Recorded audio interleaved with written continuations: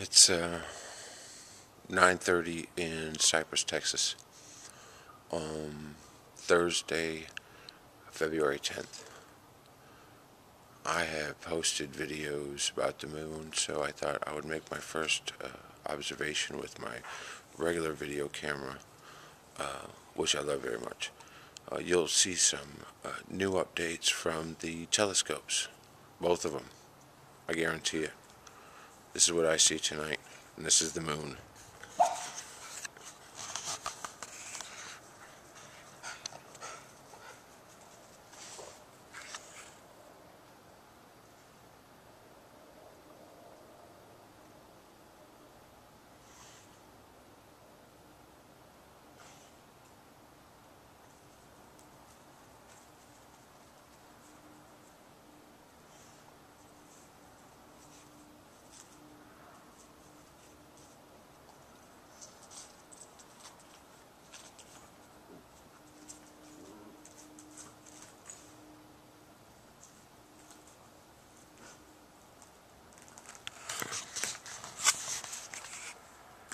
About um, 30 degrees tonight. It's supposed to warm up now for the next week.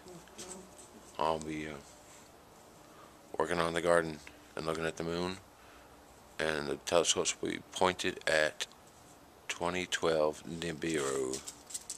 Have a good night.